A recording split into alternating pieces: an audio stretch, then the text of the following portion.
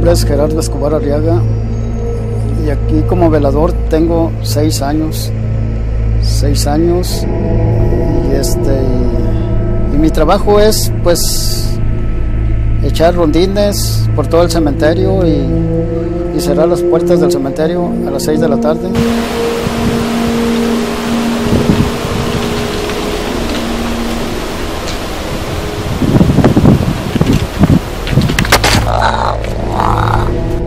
Siente la, reacción, o sea, siente ya un escalofrío cuando es que andan ahí por ahí.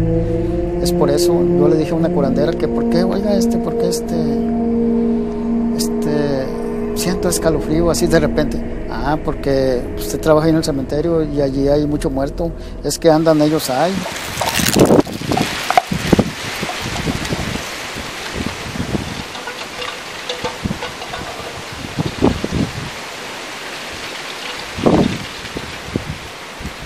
Otra vez oí un grito allí de un niño, allí donde la administración, así luego, luego, eh, como, pero que lloraba, el niño lloraba, lloraba así, pero lloró, dice, ya, así pues, llorando, así como no, fue allí, por allí. Precisamente hay un niño allí que dice un niño que está muerto, pero ya tiene muchos años, nadie viene a verlo. Bueno, desde que yo estoy aquí nunca, nunca se han aparecido allí gente.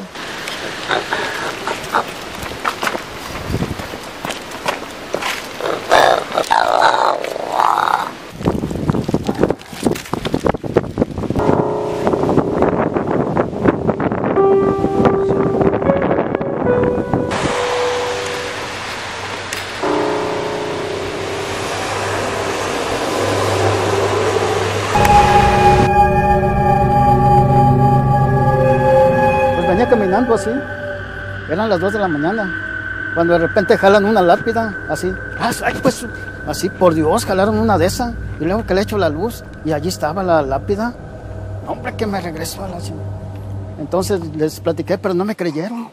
Dice el borracho, dice, pues yo tengo cinco años y no, nunca he visto nada. No, porque siempre llega bien mamado, llega y se acuesta. O sea, así nunca va a ver nada.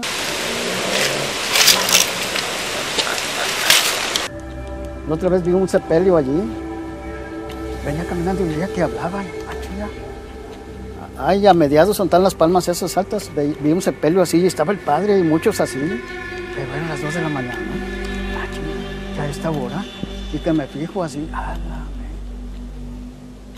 y, y, allí estaba el padre y tenía la de esa, la Biblia y estaba rezando allí. Bueno, se oían murmullos. Yo no ya ni qué decían, pero se oían se oía y dije, ah, pero eran bastante gente y así, como cuando uno lo van a sepultar y está el padre allí, este, pues viendo la Biblia y rezando. No, dice una señora que anda aquí juntando vasos y canastas, dice que, que se le apareció una niña. Una niña, es así. ¿A poco? Sí que por ahí se le apareció. Y dice que le hablaba, le hacía así, que fuera. Dice, pero una niña.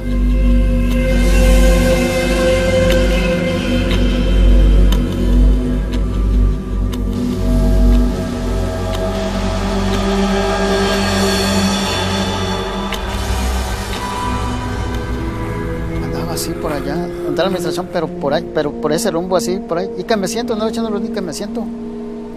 Y me salió un hombre. No estaba sentado así, me salió un hombre así, moreno. Y me dijo, ten cuidado porque te quieren matar. Así me dijo. Pero yo, pero en ese rato como que me atonté. Y, y, y así, y ya no lo vi, se me desapareció. Acá, hijo. Porque aquí también anda la cosa mala.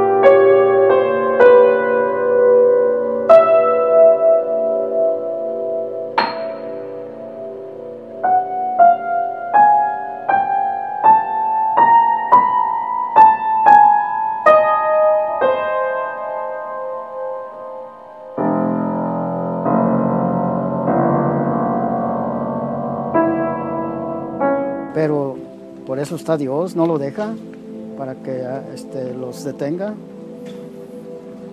Y eso pues este pues está bien, si no imagínate. Pues que si andan aquí, que se porten bien, que no anden ahí haciendo maldades, porque pues la vida es muy bonita, hombre, hay que, pues bueno, para el que la sabe vivir, es muy bonita, pues para qué andan ahí haciendo cosas que, pues sí, que no deben de hacer, hombre, haciendo maldades ahí nomás. Pues sí, pues que se porten bien y que pues no anden haciendo cosas así indebidas, hombre. Pues, pues yo nomás estoy aquí por mientras, porque pues ya mi esposa me dice, ya, ¿qué andas haciendo? Ya no vayas, hombre. no, pues es que tengo que ir y aparte, pues luego, ¿qué, qué, qué voy a hacer? ¿Qué hago entonces? Pues búscate otro trabajo. Le digo, no, pero pues ahí está bien, en cualquier trabajo es igual. Cuando te toca, te toca. Si estés allá, pues, pues donde quiera hay peligro.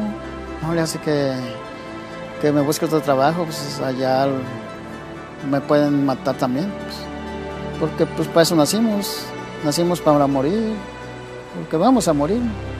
Pues, sí, nacimos a morir. Bueno, sí, la vida es la vida, ¿verdad? Y pues hay que cuidarla, pero ni modo. Pues la muerte no escoge, se lleva ricos a pobres, no le hace que usted tenga mucho dinero, ¿de qué le sirve? No con dinero va pues sí, no porque tenga mucho dinero ya no va a morir, todos vamos a morir. La, tumba es el mismo agujero, como dice la canción, pues por algo dicen. Y así es que pues por esa parte todos vamos para allá. No porque usted tenga mucho dinero ya, no, todos vamos para allá. La muerte no escoge, la muerte se lleva a ricos y pobres.